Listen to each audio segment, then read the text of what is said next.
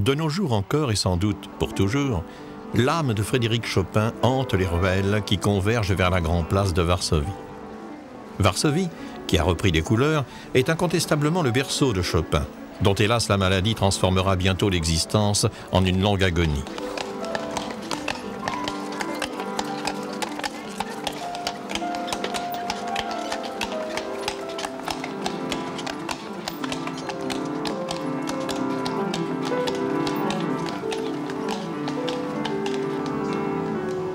Varsovie, c'est une affaire entendue, doit beaucoup à la notoriété de Chopin. Mais Chopin, lui, ne dut-il pas son succès à cette Pologne meurtrie pour laquelle les Français ont de tout temps senti battre leur cœur? Il est là, dans cette église Saint-Roch, où, tout jeune encore, il était organiste, lieu de passage obligé si l'on tient à marcher sur les pas de Chopin.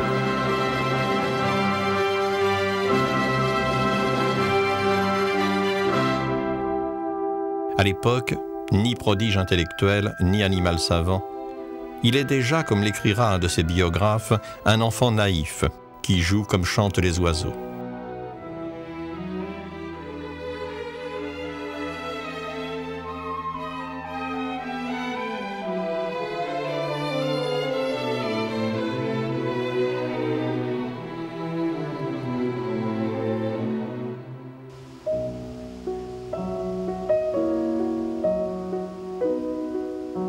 Le sait, ce n'est pas à Varsovie qu'est né Chopin, mais dans le village tout proche de Zelazova Vola.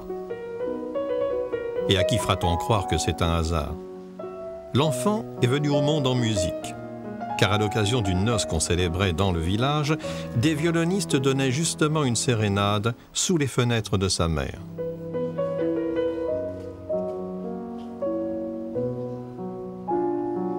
La maison est toujours là, lové dans son écrin de verdure, et l'on peut comprendre en flânant dans ces allées fleuries que Marcel Schneider ait pu dire de l'œuvre de Chopin que rarement musique aura à ce point été propice au rêve.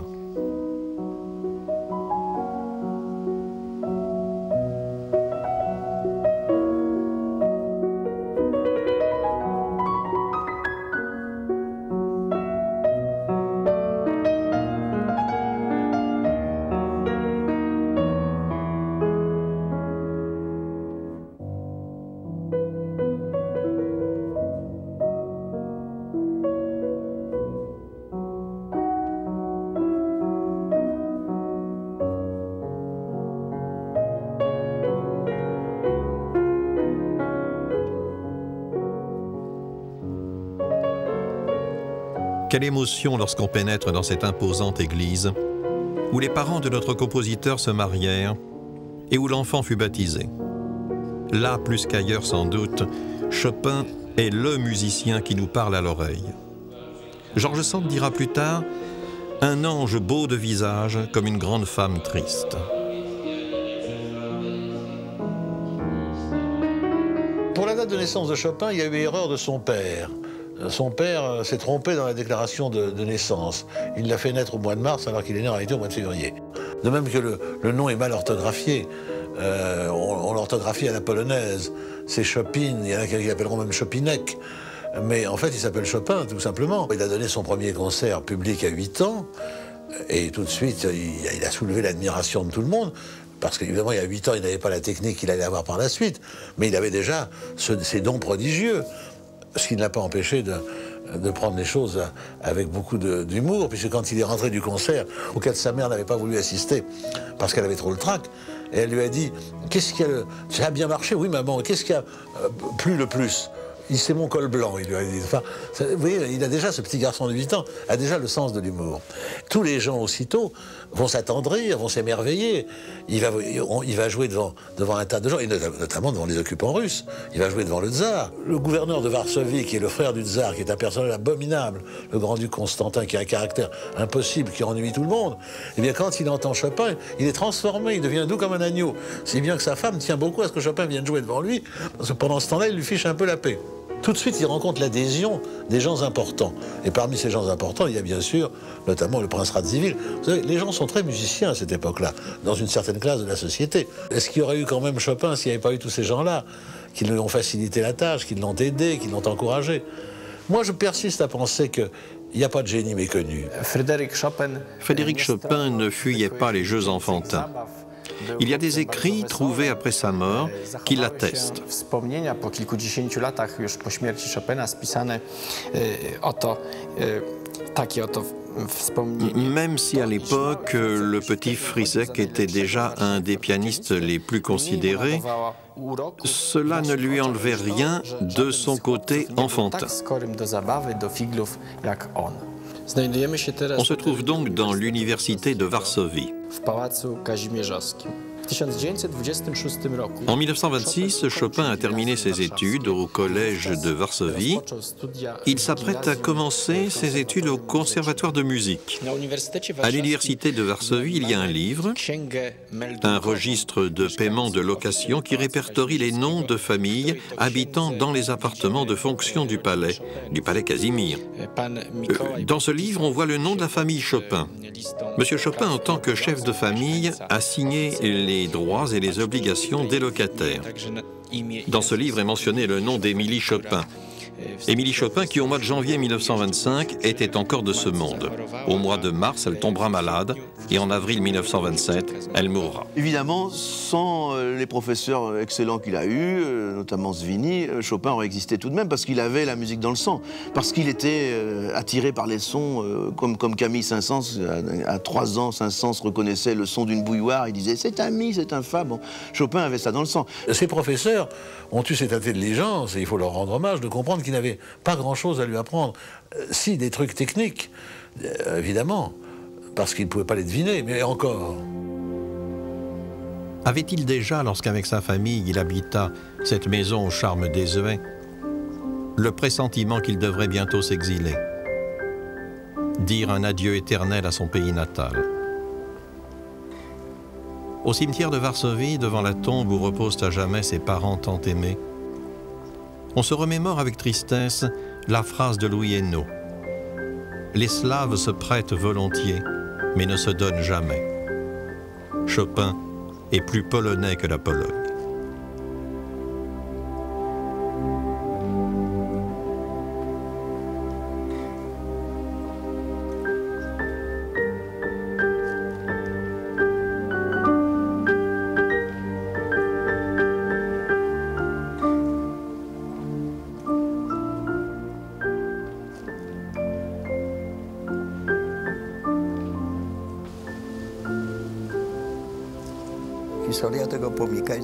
L'histoire de la statue de Chopin est très longue et très compliquée. Le projet de sa construction est apparu au début de ce siècle. Auparavant, les Polonais n'ont pas pu construire la statue à Varsovie. Ils ont voulu la faire parce que Chopin est l'un des Polonais les plus célèbres. Mais à l'époque, la Pologne était sous l'occupation tsariste et le régime a refusé de donner son accord. Quand la pression politique s'est atténuée au début du XXe siècle, on a autorisé l'organisation du concours pour la construction de la statue. Le concours a été gagné par un grand sculpteur, Vaclav Szymanowski, et la statue a été inaugurée en 1926. Pomnik odsłonięto w roku 1900. Les nazis et les occupants ont détruit cette statue après 1939. Hitlerowie. Le parc Lazienkowski a été interdit d'accès à la population polonaise. La présence de cette statue irritait les nazis. C'est pourquoi ils l'ont brisé.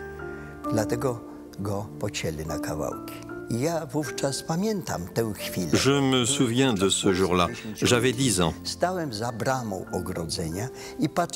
Je me trouvais près du portail du parc et j'observais comment les nazis détruisaient la statue. Sur les joues de ma mère, j'ai vu couler des larmes. C'était une expression de la haine des nazis envers les Polonais. Polaków. Ils savaient parfaitement que la musique de Chopin était le symbole de la Pologne. Zakodowana jest polskość. Il fallait donc reconstituer cette statue. Sur le reste du socle de la statue après la guerre, on a posé une nouvelle statue d'après le modèle du départ. Cette statue a été reconstruite, inaugurée en 1958. Alors Chopin est globalement adoré maintenant, mais il faut penser qu'il a été critiqué aussi en son temps. C'est-à-dire que quand il a joué ses concertos à Varsovie, les musiciens de l'orchestre euh, disaient Oui, oui, oh, quel virtuose Mais qu'est-ce qu'il joue bien Quel raffinement, quelle légèreté C'était le mot le plus employé, mais personne ne parlait de la composition. Et puis il a rencontré aussi euh, de franches critiques à Vienne. Il espérait se refaire après 1830, après son départ, et il est tombé dans une ambiance glaciale. D'ailleurs, les Allemands, en général, et les Autrichiens, n'ont pas tellement aimé cette musique-là. Chopin a dit euh, avec une forme de dépit, ces gens-là ne pensent qu'à Strauss, ils ne pensent qu'à aimer euh, les valses de Lanner de Strauss, et moi ça, ne les intéresse pas du tout. Et il a été très déçu, très isolé quand il est passé à travers, euh, à, travers l'Allemagne, quand il a quitté Vienne pour aller à, Stuttgart, et quand il est venu chez nous, alors là brusquement, grand amour, la sensibilité française de Chopin. Il ne faut pas oublier que certains musicologues disent, mais attention, on dit toujours c'est un musicien polonais, c'est surtout un musicien français. Son père était un Lorrain, parti retrouver peut-être un ancêtre, euh, son propre père, euh, dont il pensait qu'il était un, noble polonais. Euh, à Varsovie, il s'est installé là-bas, mais au fond, Chopin, c'est bien, bien, bien de chez nous. Chopin, quand il est arrivé donc à 20 ans à Paris, s'est surtout fait au départ connaître comme pianiste.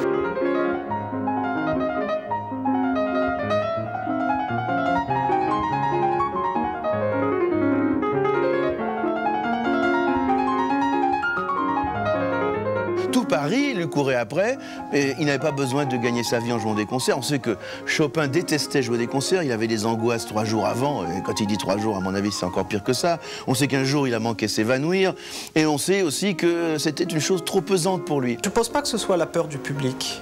C'est plus le refus de, de s'extérioriser en public. Le nombre de concerts qu'a donné Chopin ou de récital plutôt, est extrêmement limité quand on pense à ceux qu'a donné Liszt, par exemple. On, voit dans sa musique une, grande générosité, mais une très grande sincérité. Et euh, peut-être que justement, il ne voulait pas, il voulait pas euh, avoir ce côté un peu, un peu, un peu théâtral, l'aspect théâtral de la scène. Chopin a joui d'une admiration générale. Son talent très personnel, sa personnalité même, le charme qui se dégageait de lui, euh, son esprit, lui ont valu une, euh, une adhésion assez complète de ses, je ne dirais pas de ses rivaux, ils étaient peut-être des rivaux, mais de, ses pères. Liszt aimait beaucoup Chopin. Schumann a écrit des choses merveilleuses sur lui. Euh, il était très ami avec Bellini, très ami avec euh, Mendelssohn. Chopin était un pédagogue absolu, formidable, dévoué, qui a conçu cette méthode inachevée où il nous parle tout le temps de souplesse. On peut dire que la grande leçon pour tous, c'est la souplesse. Parce que, au fond, on sent chez lui que tout ce qui bloque freine aussi l'imagination et la sensibilité. Il prêche la détente intérieure. On pourrait presque dire qu'il est zen. Il est presque un, moine, d'ailleurs, par son comportement en général, mais aussi par euh, la conception qu'il a du toucher, de la décontraction, ce qui permet à la plus grande sensibilité, euh, la plus affinée, euh, de s'exprimer. Parce que, évidemment, quand on se barricade par une technique extrêmement solide, par un comportement rigoureux, un peu martial, comme certains virtuoses, eh bien, on n'exprime pas l'ultime plainte de son cœur.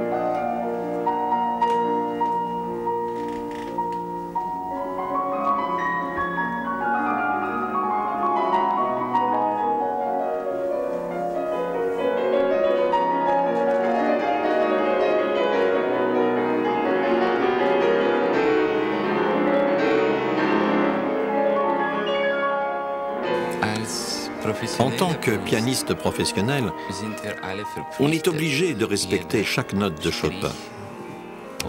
On est obligé de rester fidèle à son écriture.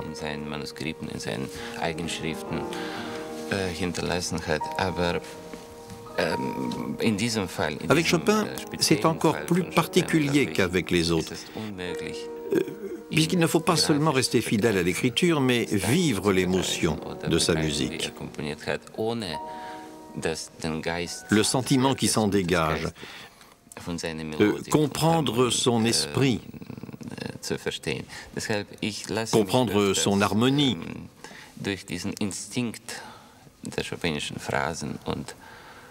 Moi, je me laisse souvent guider par l'émotion que je ressens.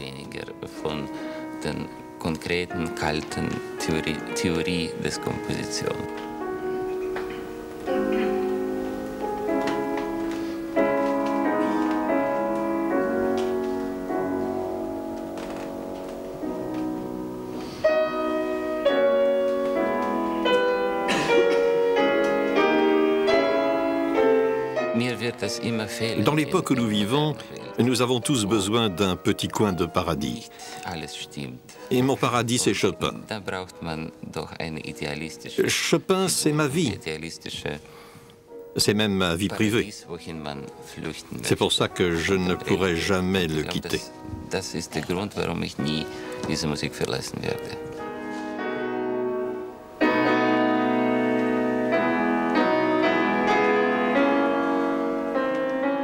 Maria Wojcinska, c'est une amie d'enfance.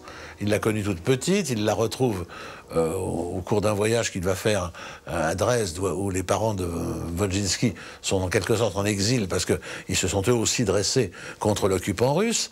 Et là, euh, il est séduit par cette jeune fille qui est coquette d'ailleurs, qui a beaucoup de charme, et il va, euh, il va finir par se déclarer. Et elle va accepter cette déclaration avec un plaisir évident. Il ne se passe pas grand-chose entre eux. Vous savez, je ne suis même pas sûr qu'ils aient flirté, qu'ils l'aient embrassé. Je, ne crois pas. Il finit par demander sa main. La jeune fille est d'accord. Et Mme Voljiska aussi, mais elle lui dit, mais n'en parlons à personne pour le moment, laisse-moi préparer mon mari à cette idée.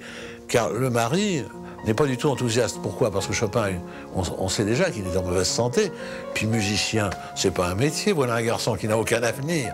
Finalement, peu à peu, Madame Wojcinska, parce que c'est elle qui écrit, quand, quand, ils sont retournés, quand il est retourné à Paris et que sont restés à Dresde, où ils sont, je le répète, en exil, euh, c'est toujours Madame Wojcinska qui écrit, et de temps en temps, Maria ajoute un petit post-scriptum, mais un petit post-scriptum qu'elle signe votre secrétaire dévoué. Enfin, vous voyez, c'est une lettre de pensionnaire plus qu'une lettre d'amoureuse.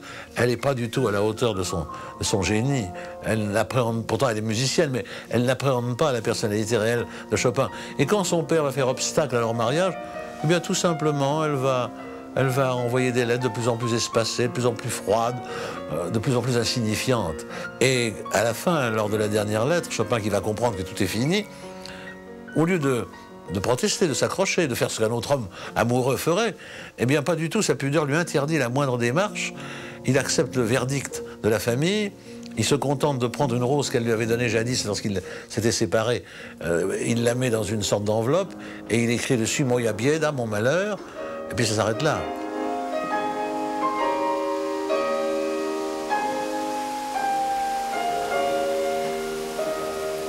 Il va y avoir évidemment alors la passion de sa vie. Mais pourquoi? Parce que c'est Georges Sand qui va le prendre à l'abordage.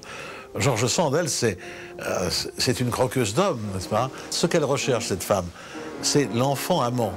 Alors avec euh, Chopin qui est malade, je crois, qui a besoin qu'on le soutienne, qui a besoin de s'appuyer sur une épaule, elle, elle va très bien tomber, elle va immédiatement avoir euh, cet appétit de Chopin. Ça va pas être facile, parce que pendant deux ans, ça va être le jeu du chat et de la souris.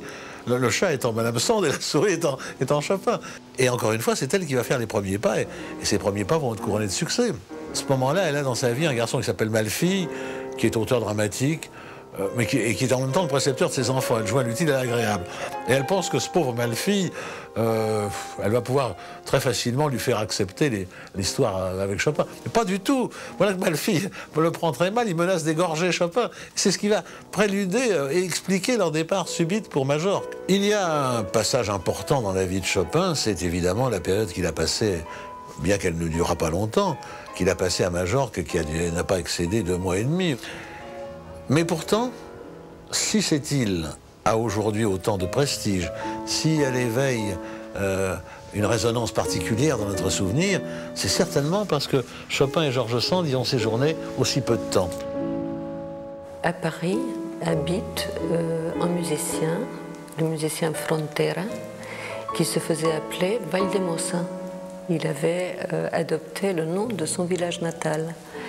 Donc c'est ce musicien Valdemosa qui, qui par la suite euh, était le professeur de musique à la cour d'Isabelle II à Madrid, qui euh, recommande euh, à Chopin de venir euh, à Majorque et de connaître le village de Valdemosa. Il séjourne quelques jours dans la seule auberge qu'il trouve dans Palma, dans la rue de la Marina, en face de la cathédrale. Chopin se sent très mal et il reçoit la visite de trois docteurs de Palma qui pour la première fois euh, font le diagnostic euh, de la tuberculose. Il écrit à un de ses amis, les trois médecins les plus célèbres de l'île sont venus me consulter. Le premier a dit que j'allais crever, le second a dit que j'étais en train de crever, et le troisième a dit que j'étais déjà crevé. Ici en Espagne, euh, les maladies infectieuses étaient de déclaration obligatoire. Et euh, donc c'est là que le propriétaire de cette maison euh, apprend que Chopin est pulmonaire et il les met carrément à la porte. Mais Georges Sand avait déjà euh, repéré cette chartreuse et elle avait déjà retenu la cellule. Donc c'est comme ça qu'ils viennent finalement se réfugier à la chartreuse de Valdemosa. Nous sommes dans une des pièces de la cellule euh, occupée par Chopin, Georges Sand et les enfants de Georges Sand. Quelle émotion cette chartreuse de Valdemosa. Ce piano dont ses doigts attendis frôlaient le clavier comme ces éphémères qui caressent le soir les grands lacs transparents, et ses souvenirs pieusement conservés, comme une mèche de ses cheveux. Le poète l'a dit, Rarement une œuvre et son auteur auront été si intimement liés. Marchait beaucoup, elle allait beaucoup se promener. Alors elle partait avec ses deux enfants, avec Solange et avec Maurice, et ils allaient faire des longues promenades à travers la montagne que Chopin ne pouvait pas faire parce qu'il n'en avait pas la force.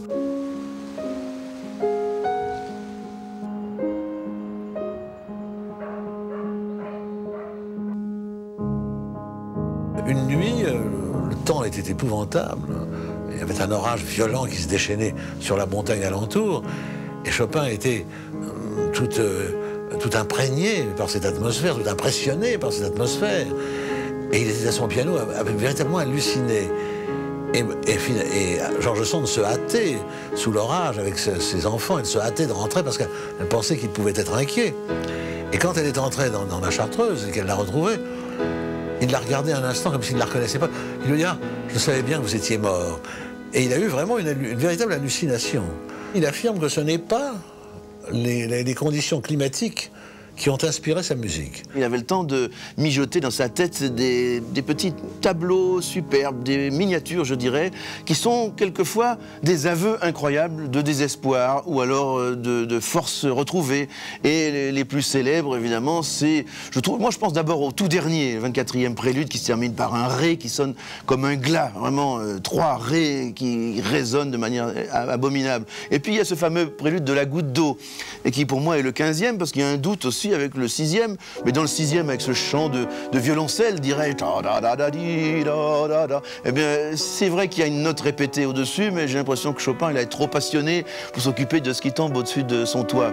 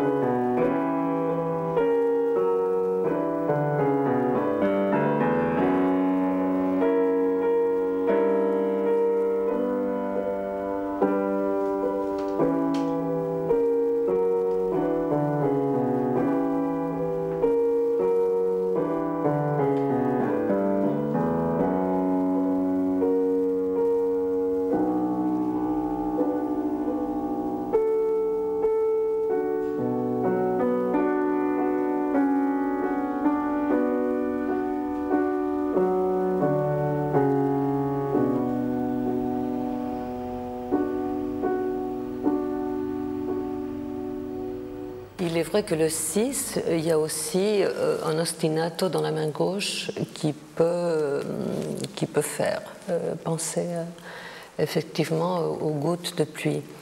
Mais c'est surtout dans le 15 où nous retrouvons une forme chorale aussi. disons qui, serait plus près de, cette nuit dramatique décrite par Georges Sand aussi bien dans Histoire de ma vie que dans euh, l'hiver à Majorque. Ce 15e prélude, pour moi, peut effectivement signifier l'ennui profond, pas une douleur épouvantable, mais un ennui qui peut toucher quand même à la désespérance. Il y a une sorte de répétition lente et sourde comme ça, qui fait que Chopin a peut-être eu l'angoisse de perdre son talent, de perdre sa vie euh, dans cette expédition menée, en principe, pour lui donner meilleure santé. Mais enfin, on ne pouvait pas prévoir qu'il ferait aussi mauvais temps tout le temps. Enfin, dans la Chartreuse, l'humidité était telle, dès qu'il y avait une pluie, on, pouvait presque cueillir des champignons. C'était assez, affreux. Ce qui est sûr, c'est que les, noms ne sont pas de Chopin. Euh, et, c'est vrai qu'on met des noms euh, très régulièrement sur beaucoup de ses œuvres, Tristesse, Valse de l'adieu, etc., mais ce sont des noms qui ne sont absolument pas de lui. Alors, ça peut être intéressant de les savoir après, des fois. Comme par exemple, Debussy euh, écrivait le nom de ses préludes à la fin du prélude et non pas en tête. Est-ce qu'il est vraiment fondamental pour apprécier une œuvre de, lui mettre un nom, de la remettre dans un contexte? On peut se demander pourquoi Valdemossa ou Chopin et Georges Sand sont restés si peu de temps, quelques semaines, a tellement marqué leur existence. Je crois que ça n'a pas tellement marqué leur existence à eux, sauf les ennuis qu'ils ont eus, car ils ont gardé un souvenir atroce. Euh, les lettres de Georges Sand euh, sont épouvantables. Elle dit que c'est un endroit infernal, que les gens de ce pays sont des sauvages. Enfin, elle leur règle leur compte. Je crois que c'est surtout la postérité qui a fait de, de un endroit mythique. On peut imaginer que si ce voyage à Majorque s'est somme toute bien terminé, nos héros le doivent à Sainte Catalina Thomas, née à Valdemossa, et avec laquelle les Chartreux entretinrent des relations privilégiées. La Sainte, omniprésente, est la protectrice de Valdemossa.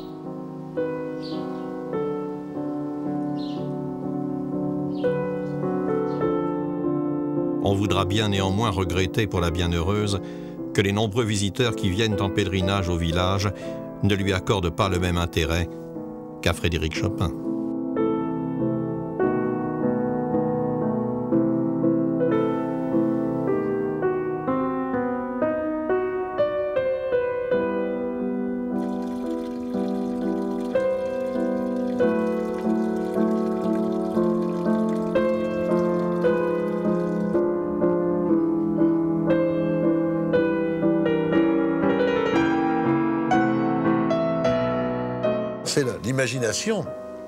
De tous les amoureux du monde ou de tous les gens qui ont aimé Chopin et Georges Sand, qui ont fait de Valdemossa ce lieu d'exception euh, que, la Chartreuse est devenue. Pour eux-mêmes, c'est un souvenir très amer, très pénible. Même s'ils ont, y ont connu de bons moments, car ils y ont connu quand même de bons moments. C'est-à-dire que leur amour, elle justement, euh, à cause des épreuves qu'ils ont dû surmonter, leur amour pendant ce temps-là est devenu plus fort. Je pense que c'est une période euh, capitale, euh, aussi bien pour Chopin que pour Georges Sand.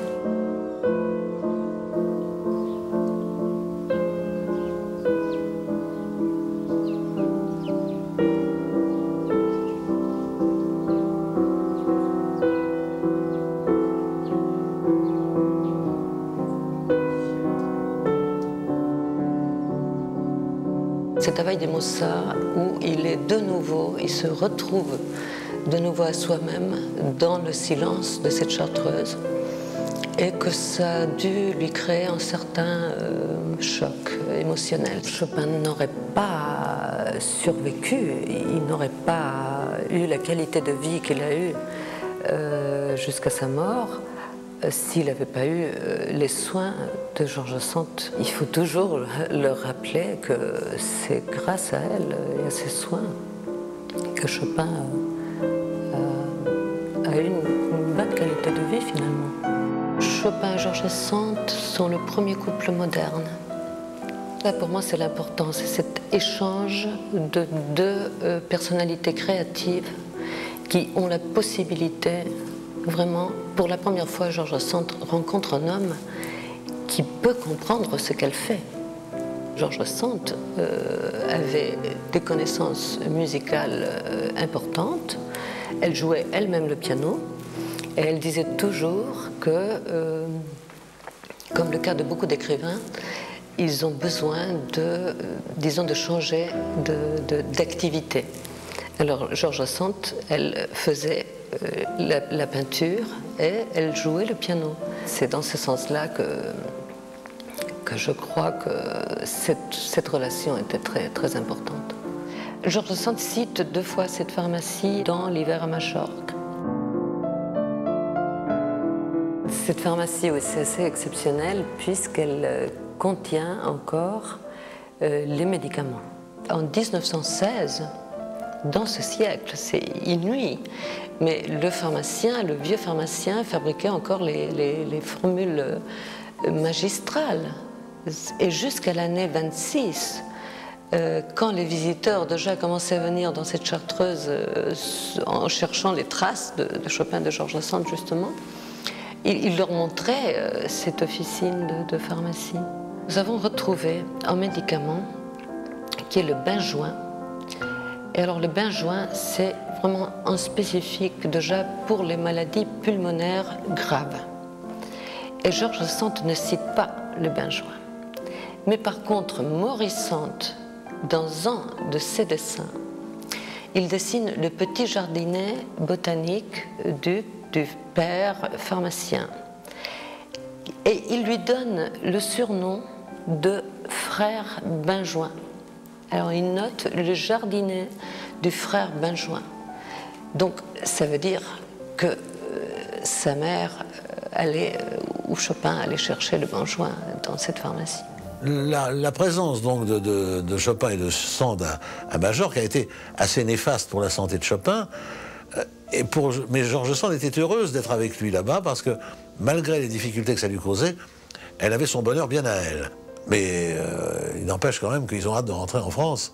Et surtout lui. Elle serait bien restée encore un peu plus, parce qu'elle elle, est vaillante, elle. Vous savez, c'est une paysanne du Berry, c'est une femme solide, c'est une femme robuste. Elle serait bien restée encore un peu, mais D'autant plus que euh, les enfants aussi finissaient par s'y plaire. Seulement quand elle a vu l'état de Chopin, elle a pensé qu'il fallait pas tarder à rentrer.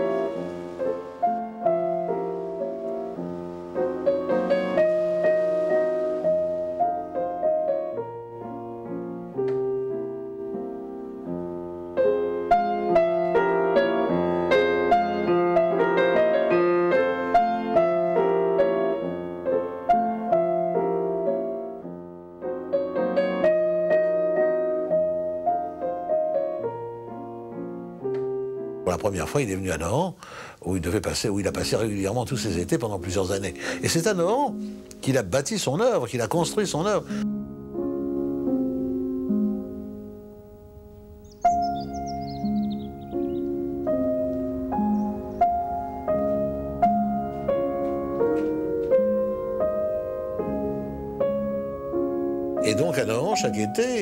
Il reste des heures dans sa chambre à écrire de la musique, à la composer. Georges Sand veille à ce qu'on ne le dérange pas, à ce qu'on ne le gêne pas. Ce qu'il faut retenir, c'est quand même euh, euh, le fait qu'il a composé l'essentiel de son œuvre à Nohant, dont les plus grands chefs-d'œuvre, comme la Barcarolle ou la Polonaise Fantaisie, viennent de, viennent de Nohant. Euh, même la sonate qui contient la marche funèbre a été composée à Nohant. Et c'est là où il trouvait toutes les conditions pour pouvoir travailler. Et Georges Sand a toujours su faire cela, ménager tout ce qu'il fallait pour Chopin. Elle, elle a eu besoin de materner, elle a eu besoin de soutenir quelqu'un sa forte nature avait besoin d'une purge en quelque sorte. C'est-à-dire que Georges Sand, qui était costaud, qui travaillait jour et nuit, et surtout la nuit d'ailleurs, il faisait les confitures le jour, et la nuit, elle écrivait des romans. Elle a trouvé tout de suite ce petit frère en quelque sorte. Je dis petit frère parce qu'il a été très peu incestueux hein, envers elle. Et, elle a tout fait, tout fait pour, pour l'aider, pour l'aimer. Et lui était quand même difficile à vivre parce qu'il avait cette extrême pudeur, cette délicatesse presque exagérée. Euh, et il était un, homme... Euh, caprice. Pour moi, quelle femme, dans un moment de sa vie, ne fait pas de, mère de, son couple? Je pense que c'est quelque chose de très féminin. Euh, Georges Sand le soigne tellement que Chopin retrouve des couleurs, évidemment. Quand on sait maintenant ce que c'était que la maladie de Chopin, c'est-à-dire la phtisie, autrement dit la tuberculose, il est bien clair que le bon air, que la bonne nourriture, du veau bien gras, et puis des légumes cueillis le matin même, ben, tout ça ne peut pas nuire. Et puis peu à peu, à mesure que, surtout le fils, à mesure que Maurice va grandir, il va y avoir cette espèce d'antagonisme naturel entre le fils et, et l'amant de la mère. Et c'est ce qui va finir par d'ailleurs euh, creuser un fossé entre, entre Georges et Frédéric. Elle va se, se, retrancher derrière ses enfants. Elle est aussi d'ailleurs une mère excellente, surtout pour son fils, parce qu'elle n'aime pas beaucoup sa fille. Et il y a une rivalité entre ces deux femmes. Souvent, les filles sont des rivales de leur mère. Et d'ailleurs, euh, Solange va essayer sa coquetterie lorsqu'elle va devenir une jeune fille. Elle va essayer sa coquetterie sur Chopin. Il n'y aura jamais d'équivoque. Jamais Chopin ne, fera la cour à la fille de sa maîtresse. Mais il aura pour elle quand même certaines faiblesses, euh, parce qu'il sent justement qu'elle est un peu délaissée par sa mère au profit de son frère, il a tendance à la soutenir. Que Solange ait essayé par coquetterie de séduire euh, Chopin, ne serait-ce que pour embêter sa mère de temps en temps, ça se pourrait. Mais c'est sûr que Chopin avait une certaine faiblesse pour Solange. Il y a eu des rivalités, euh, peut-être pour l'amour de Georges Sand, parce que Chopin a pris parti pour Solange contre, contre sa propre mère. Enfin bon, tout ça a fait qu'il s'est mêlé un peu de ce qu'il le regardait finalement, puisqu'il se sentait carrément lui-même un fils de la famille. Mais Georges Sand en a eu assez. À un moment donné, elle a dit Moi, je veux pas forcément toujours un fils ou un grand. Je voudrais bien un amant. Elle était assez vigoureuse. Solange se marie à Sclésinger, euh, qui est un alcoolique, n'est-ce pas? Donc Georges Sand, elle voit que c'est la catastrophe pour sa fille. Déjà qu'elle n'avait jamais eu des rapports très faciles avec sa fille. Par contre, Chopin est de l'avis que si sa mère euh, laisse Solange vraiment euh, sans aucun, aucun, appui moral de sa part et la laisse dans les mains de cet homme, euh, ça sera la fin pour Solange. Alors, je pense qu'il avait raison. C'est Chopin qui avait raison à ce moment-là, non? Mais il faut reconnaître que si Georges Sand, elle a, elle a réagi violemment, et elle avait aussi raison de lui dire c'est mes enfants, n'est-ce pas? Et ça, c'est des questions de, famille, et c'est moi qui dois décider, n'est-ce pas? C'est peut-être un peu injuste, puisqu'il ne faut pas oublier que Chopin avait éduqué ses enfants. Solange, elle a eu euh, une vie euh, très dramatique.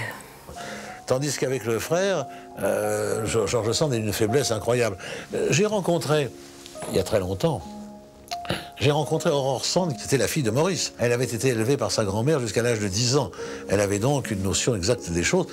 Et elle m'a dit, je m'en souviens très bien, elle m'a dit, ma grand-mère a gâté mon père et, toutes les choses qu'il avait en lui, car il était intelligent, il était artiste, il y avait beaucoup de choses en lui, il ne les a pas réalisées parce qu'il a été le fils à maman il fait ce formidable album où il y a plus de 140 dessins et aquarelles. Dans certains, euh, de toute évidence, il a été aidé par sa mère et peut-être par Chopin. Mais en tout cas, c'est déjà euh, un grand talent. Et par la suite,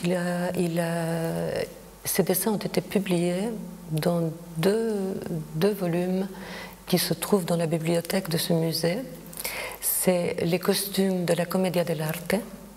C'est des dessins magnifiques. Et il a illustré euh, l'histoire des papillons. Alors c'est des gravures vraiment d'une beauté euh, absolument extraordinaire.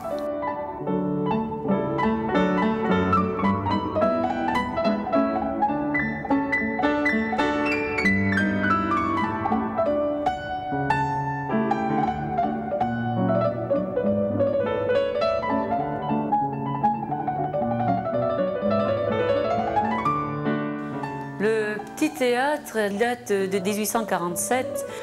Maurice va agiter les marottes derrière un carton à dessin et de là, eh on aura idée de faire des marionnettes.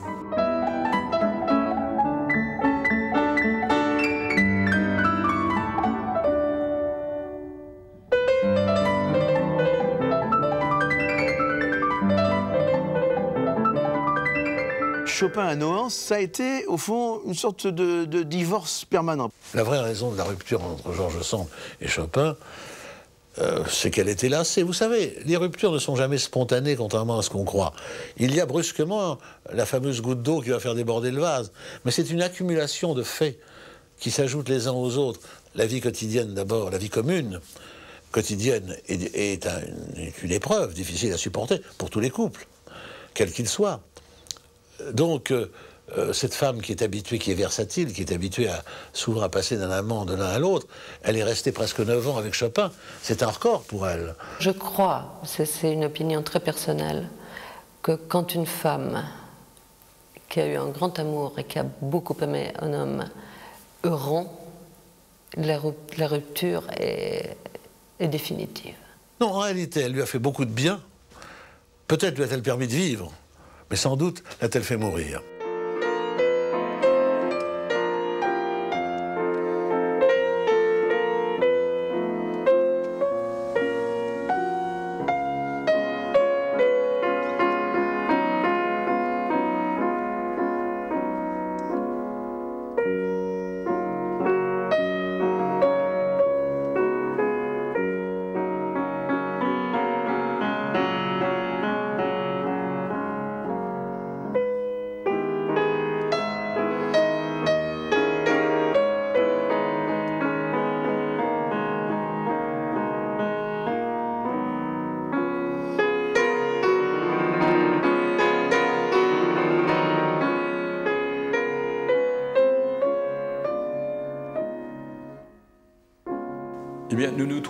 Devant ce que j'appelle un essai de reconstitution d'une peinture de Delacroix, ce que l'on appelle depuis le double portrait.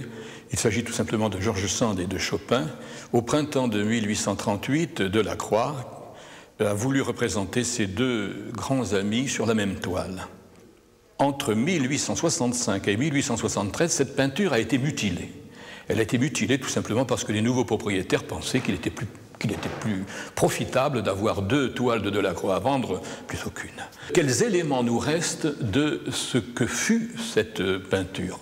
D'abord le portrait de Chopin que tout le monde connaît, qui est au Louvre, 45 cm sur 38, et le portrait de Georges Sand qui est à Copenhague, plus deux petits dessins.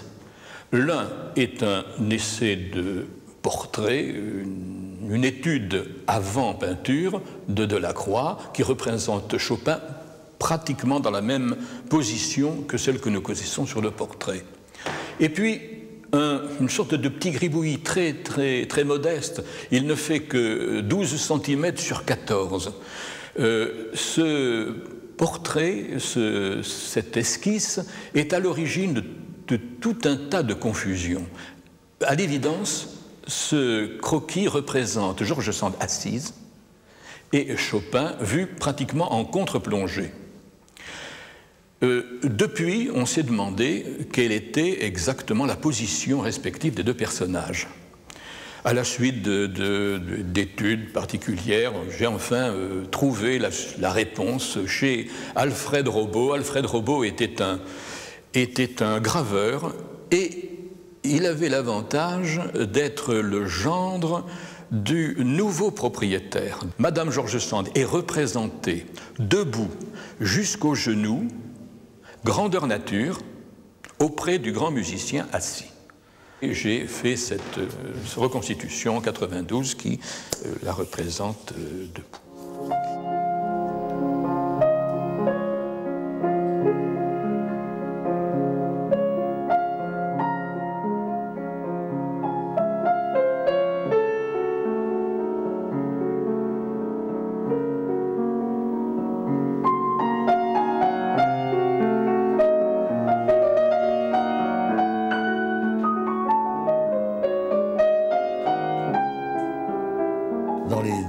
De sa vie. Il va dire, elle m'avait pourtant promis que je mourrais dans ses bras.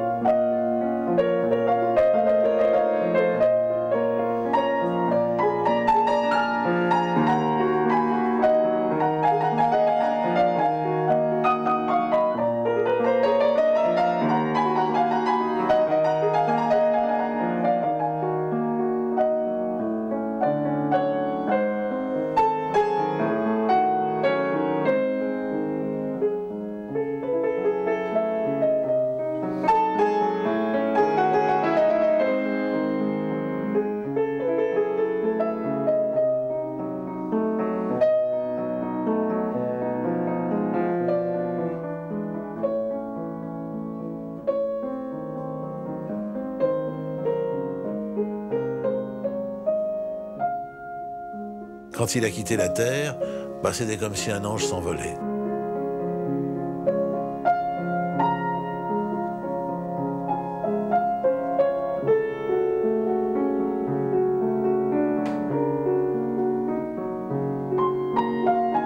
Il est enterré à Paris, au Père-Lachaise, mais son cœur a été transporté en Pologne.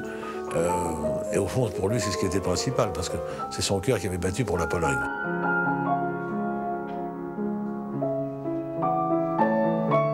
L'aspect du cœur, c'est vraiment, le, le symbole de la vie, de l'émotion, etc. Et donc qu'il a voulu euh, transférer à Varsovie après sa mort.